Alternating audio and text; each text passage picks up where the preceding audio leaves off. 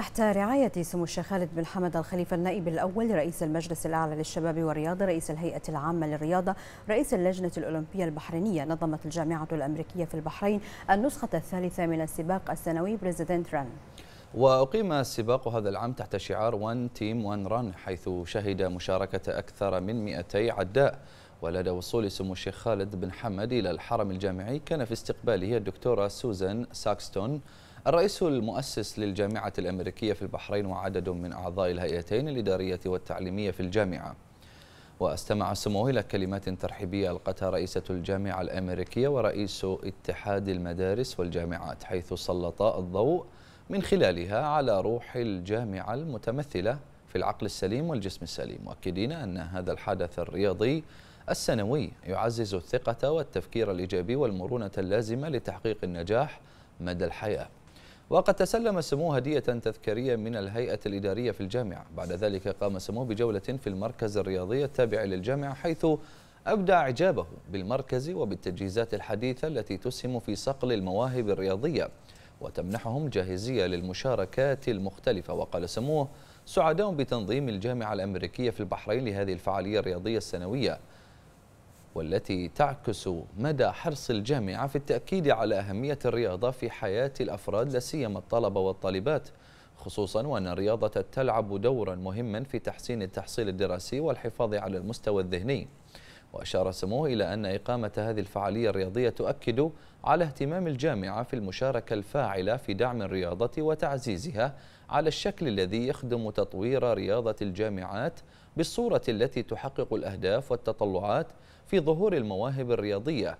وتبع سموه إن الرياضة الجامعية دعامة أساسية للرقي بمستوى الرياضة الوطنية وتشكل واحة خصبة للمواهب الرياضية التي يمكن استثمارها في الأندية والمنتخبات في الألعاب المختلفة.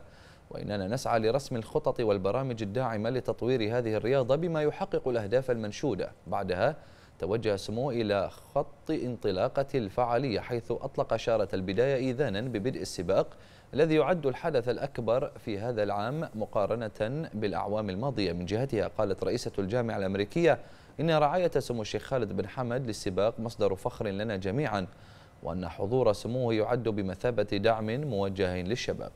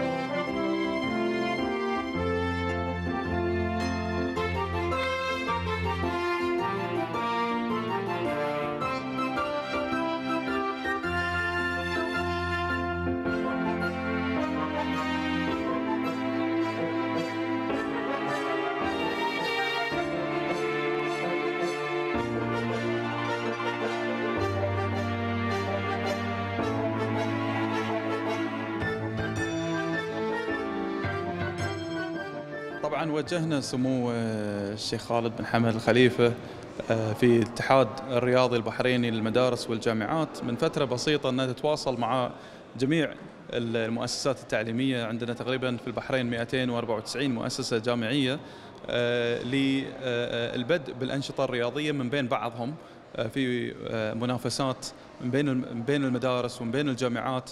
على أساس أن إحنا نكون ضمن المنظومة الرياضية البحرينية وتساعد الأندية ولا الاتحادات ولا المنتخبات في المستقبل. آه، ولكن لله الحمد يعني في تواصلنا مع الجامعة الأمريكية في مملكة البحرين آه، وجدنا بكل صراحة تعاون تام من قبلهم آه، ووجدنا أنهم عندهم منشآت حديثة وجديدة لأعلى المستويات الصراحة العالمية وإحنا الآن موجودين في هذه المنشأة وأيضا الكادر الإداري اللي موجود تواصل معنا وابدى رغبته إن يعني يتعامل مع الاتحاد بتوجيهات من سموه آه، لفعاليات مختلفة سواء كانت من بين الجامعات أو انها كانت للجامعة. نحن متحمسون للغاية لإقامة النسخة الثالثة من السباق السنوي للجري President's Run ومحظوظون برعاية سمو الشيخ خالد بن حمد لهذا الحدث الرياضي.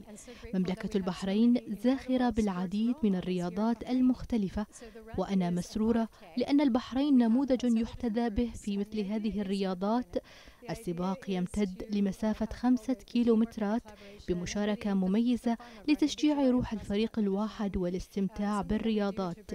لدينا عدة مجموعات مشاركة والهدف من السباق ليس الفوز وإنما المشاركة والاستمتاع حيث يشارك في هذه الفعالية طلبة من مختلف مناطق المملكة.